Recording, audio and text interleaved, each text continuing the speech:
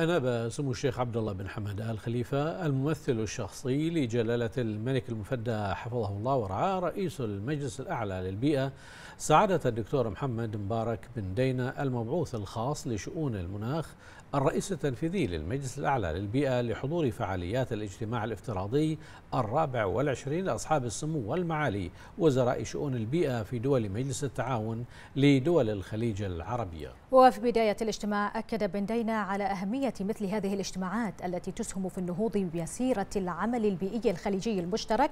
نحو تحقيق أهداف التنمية المستدامة في المنطقة. وكان الاجتماع قد ناقش عديد المواضيع والخطط المتعلقة بتنفيذ قرارات المجلس الأعلى لمجلس التعاون بشأن مذكرة الأمانة العامة الخاصة بالتوجهات البيئية لدول مجلس التعاون 2020 والقيود غير الجمركية الخاصة بالبيئة. إلى جانب التركيز على الخطة الاستراتيجية للجنة وزراء البيئة والبوابة البيئية الخليجية وحقيقة التعاون الخليجي مع برنامج الأمم المتحدة للبيئة إضافة إلى مناقشة مذكرة الأمانة العامة بشأن اتفاقية الأمم المتحدة الإطارية لتغير المناخ والتعاون الدولي مع المملكة الأردنية الهاشمية والمملكة المغربية وجمهورية باكستان الإسلامية والاتحاد الأوروبي فضلا عن مناقشة مبادرات مجموعة العشرين ومقترح مملكة البحرين حول الحد من التلوث البلاستيكي وطلب المملكة العربية السعودية لاستضافة مؤتمر الأطراف لاتفاقية الأمم المتحدة لمكافحة التصحر.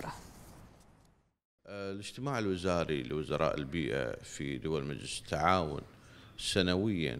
يحدد أولويات التعامل بين دول المجلس في خلال الأمانة العامة للسنة القادمة. السنة ذي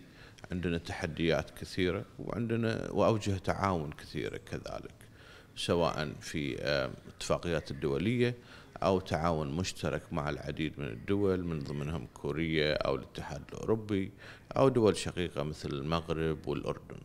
ولكن التزاماتنا الدولية كذلك نتفق عليها ونتفق على مواقفنا السياسية في هذه الاتفاقيات وخطط عملنا في العديد من المشاريع المشتركة سواء مع ال United Nation أو سواء بين الدول بينهم بين بعض.